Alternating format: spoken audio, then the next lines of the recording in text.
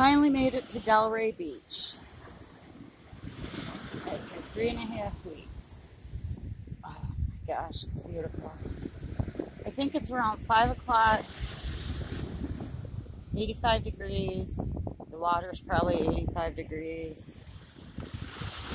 The waves are pretty strong.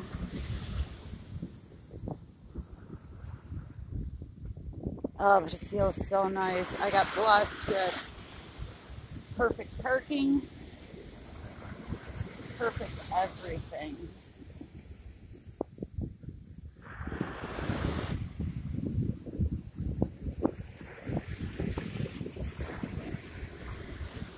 Blessed, blessed, blessed. Thank you, God, for making oceans and getting me here safe. Oh, I love my salt water.